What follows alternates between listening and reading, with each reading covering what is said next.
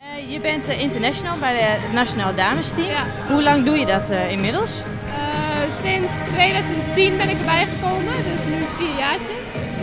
En we zijn nu bezig met het vijfde seizoen, dus het gaat heel goed. Heel goed. En ehm, jullie hebben natuurlijk het WK straks, in Ja. april geloof ik. Waar gaat dat plaatsvinden? Eh, in Beijing, in China, in april inderdaad. Eh, zijn we nu met de voorbereidingen bezig. We, hebben de promotie, we zitten in de promotiedivisie. Met de mannen spelen we mee. Dus dit jaar voor het eerst dat we in de promotiedivisie spelen. Dus eh, we hebben een seizoen van 20 wedstrijden. Dus het eh, gaat heel goed. De voorbereidingen zijn goed, gaat goed. Dus eh, we hebben heel veel zin in. Oké, super. Ehm, het afgelopen seizoen hebben jullie ook het WK kunnen spelen. Dat hebben jullie door middel van crowdfunding moeten doen.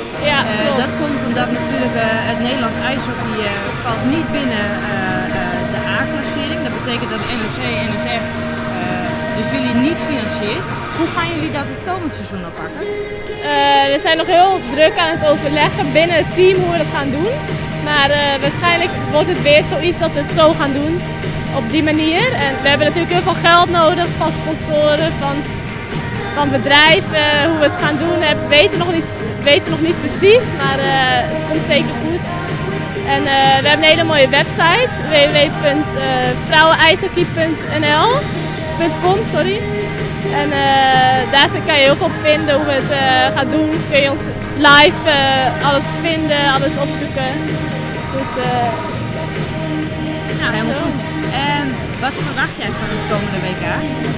eh, omdat we een hele goede voorbereiding hebben met veel wedstrijden op hoog niveau, denk ik dat we het heel goed gaan doen.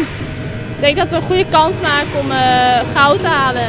Dat is in ieder geval ons doel. Oké, helemaal goed. En ehm, jullie spelen dan weliswaar in een mannencompetitie mee. Ja. Hoe is dat dan om als vrouwenteam in een mannencompetitie mee te spelen? Eh, ja, van de, we dachten dat het natuurlijk heel zwaar zou worden. En het is- zeker heel zwaar.